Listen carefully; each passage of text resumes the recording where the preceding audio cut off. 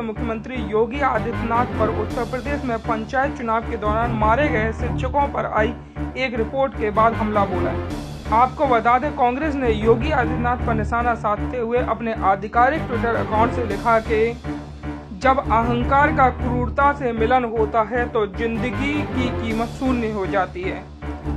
भाजपाई हुकूमत में उत्तर प्रदेश में यही दृश्य नज़र आ रहा है।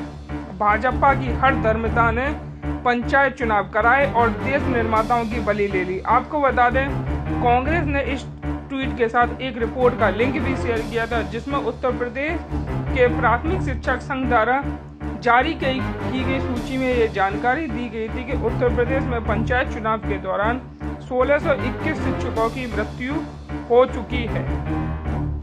इसके साथ साथ प्राथमिक शिक्षक संघ ने इस बात का भी खुलासा किया है कि उत्तर प्रदेश के 75 जिलों में से 23 ज़िले ऐसे हैं जहाँ पर कम से कम 25 से अधिक शिक्षक की मृत्यु हुई है।